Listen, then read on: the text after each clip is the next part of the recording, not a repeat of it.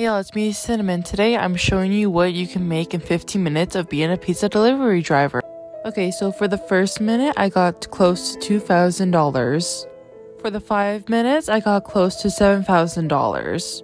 Already, the money seems pretty good from doing the small increment of time.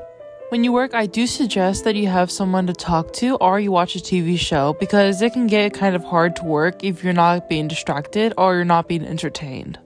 For 10 minutes, I got close to $17,000. I also just want to point out that I am level 23, so I do make more than beginner level. So at the end, at 15 minutes, I got close to $23,000, which is very nice for my bank account. I hope this gives you all a good feel for how much you'll make in 15 minutes. Now, if you want me to do first level and all the jobs to see which job makes the most money, please get this video to 50 likes and I'll make that video. I hope you all enjoyed this video and I wish you all to have a great day. Make sure to like and subscribe for more. Bye!